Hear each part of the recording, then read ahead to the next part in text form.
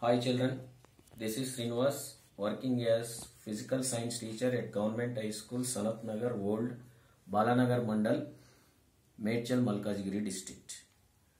Today in our first lesson reflection of light at curved surfaces sign convention rules for mirrors. Now we are going to discuss sign convention rules for mirrors. In this mirrors now I am taking firstly concave mirror. How we apply these sign convention rules for concave mirror for particular situation. My dear children, all of we know what is mirror formula. Mirror formula is 1 by f is equal to 1 by v plus 1 by u. All we know this.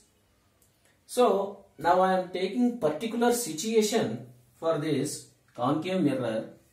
Look here, concave mirror. This is pole, principal axis, C and F. Now I am taking an object beyond C. All we know ray diagrams. When object is kept at beyond C, how the image will be formed. This is ray 1 which is parallel to principal axis will pass through focal point. The second one, the ray which passes through focal point after reflection it will be reflected and parallel to principal axis we know both they meet here here this is object this is image. Image is formed between f and c. Now we apply the sign convention rules for this. See we know sign convention rules. First rule is every distance must be measured from pole. We know first one. Second one the direction of the distance direction of the incident ray. If they are in same direction it is taken as positive if both are in opposite direction it will be taken as negative. We know. Next third rule. What is third rule? Height of the object height of the image. If they are above the principal axis upward direction to the principal axis value will be taken as positive.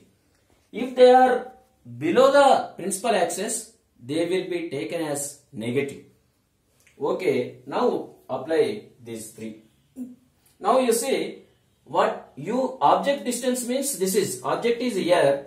From pole we are measuring. Object distance this is object distance. Object distance we are taking in this direction. Incident ray is in this direction. So opposite direction means it will be taken as minus 1 by minus u plus 1 by v 1 by v means image distance. Image distance this is image. Distance is measured from pole. So we are taking the direction from pole to this direction right side direction. But incident ray, uh, ray direction is in opposite direction. That's why it is taken as minus minus v. Next you see 1 by f. F means focal length. What is focal length? From p to f is focal length now we are taking this distance from P to F in this direction. At the same time, incident ray is in opposite direction. So this focal length here we are taking as negative.